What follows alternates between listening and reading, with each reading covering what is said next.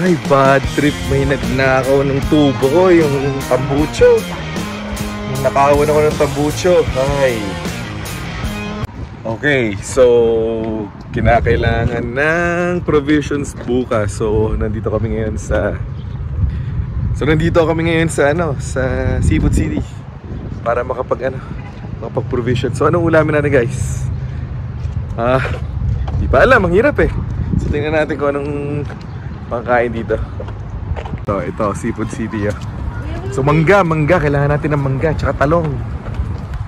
Okay guys, good morning or good afternoon or good evening wherever you are.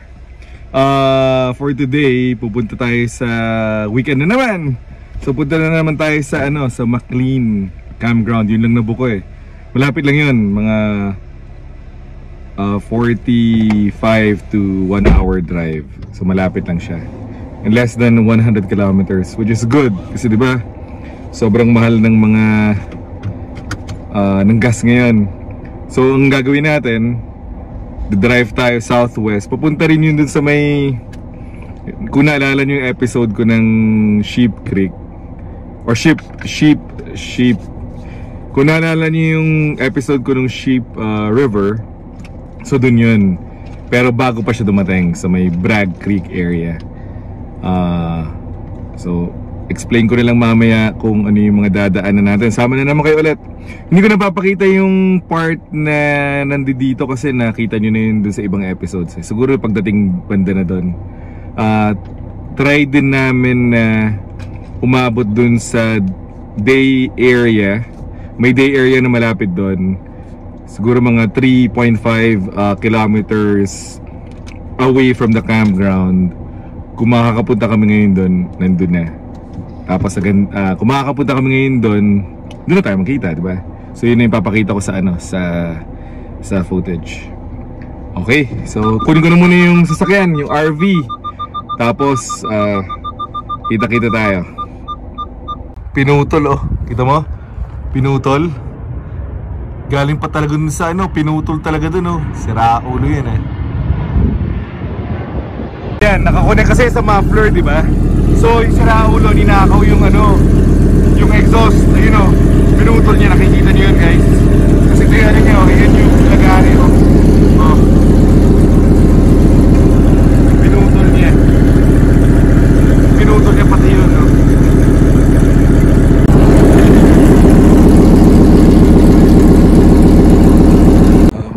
ba't kaya yung tsura mo? Para ka nalugi.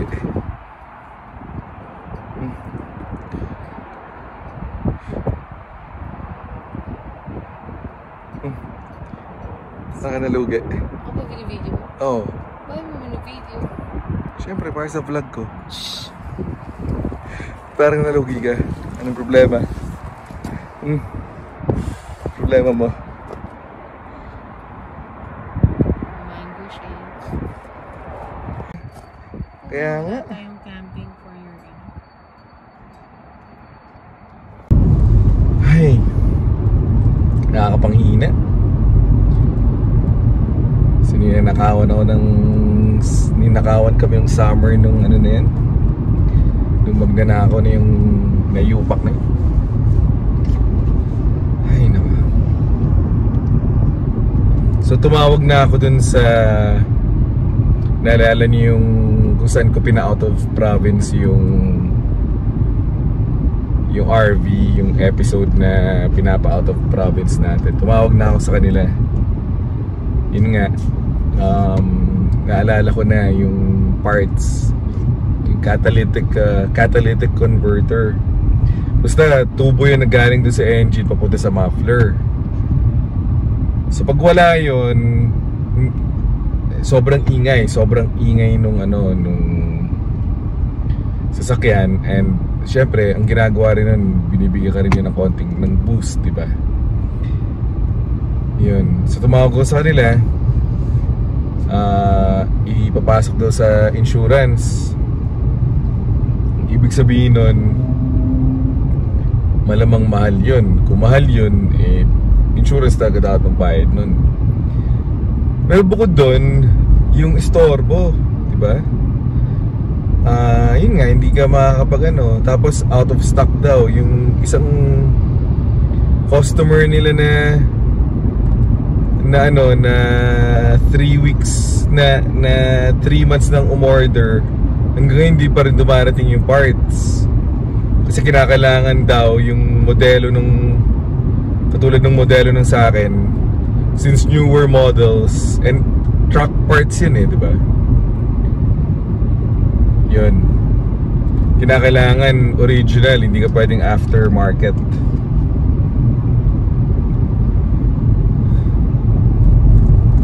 Ang suggestion niya kung gusto talaga namin mag-camping is bibili ng lalagyan muna nila ng straight pipe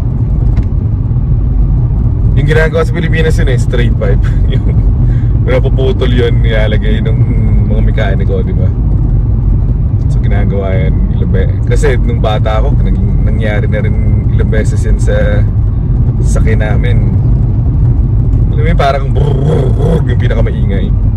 Yan, yun, yun. Ah, so, ayaw pa magbigay ng quote. Hindi ko alam kung, ewan ko, bahala na, hindi ko alam. Yun lang. So, so hindi matutuloy ngayon. Excited na excited pa naman lahat. To.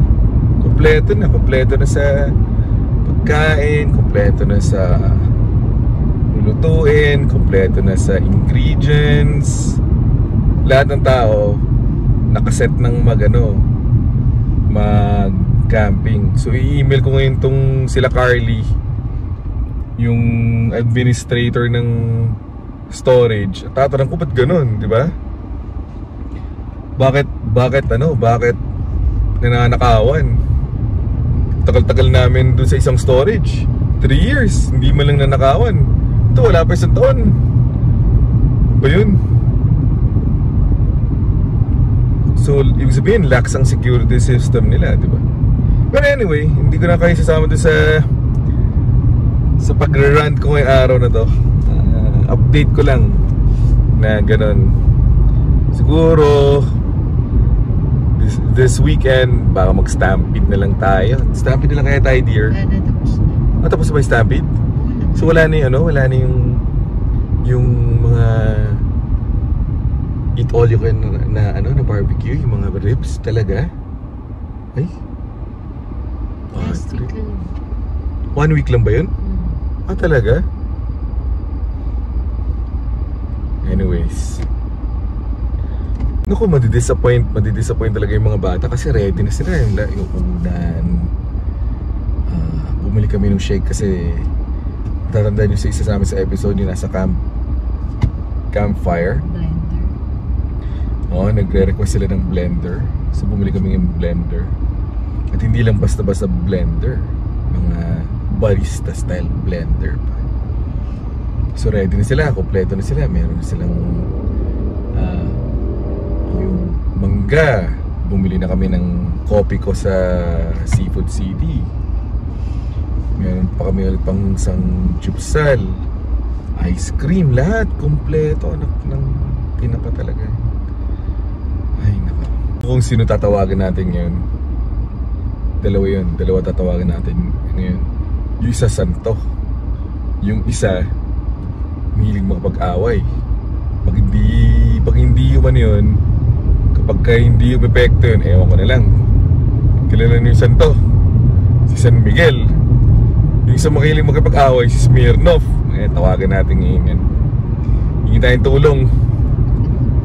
Yan oh, tinan nyo nga yan oh.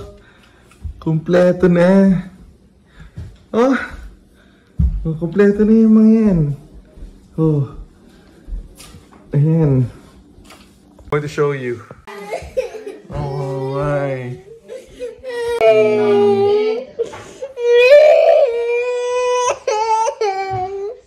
What they're going to say, what they're going to say to that guy who stole our ano, who stole our part. Eh?